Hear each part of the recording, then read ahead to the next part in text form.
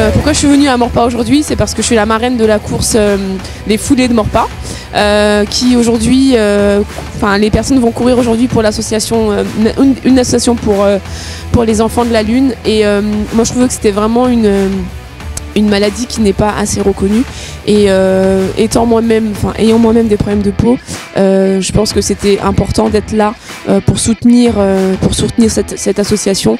Et puis euh, voilà, on- je pense qu'on doit tous s'aider les uns les autres pour que euh, la recherche avance. Et j'ai habité Morpa pendant à peu près deux ans euh, et je suis restée très très longtemps euh, inscrite dans le club euh, de, euh, de l'EA Saint-Quentin en Yvelines. Donc euh, voilà, c'est un peu aussi euh, un petit retour aux sources. Je pense que le sport c'est euh, réunit bah, vraiment beaucoup de, euh, de, de personnes de tout, de tout horizon.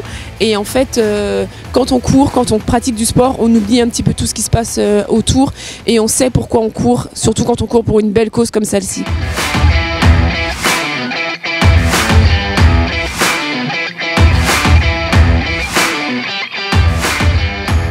Euh, ça s'est dans l'ensemble bien passé, même si c'était un peu dur euh, sur la fin. Vu que je m'entraînais pas mal, je me suis dit que pourquoi pas. Puis c'est vrai que c'était intéressant, le cadre était sympa, c'était assez naturel.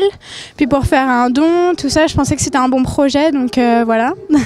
Le parcours est très difficile, mais euh, il est très bien, euh, vraiment, euh, vraiment différent d'un bout à l'autre. Il y a de la descente, de la montée, du plat. euh. Par contre, parcours très difficile avec tous les jeunes qu'il y a devant. euh, on n'est plus, euh, on n'a plus le même âge pour courir, mais bon, ça, ça va très bien quand même.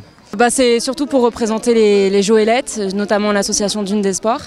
Et euh, bah, c'est pour partager ça, faire découvrir à, tout le monde euh, que c'est accessible pour tous.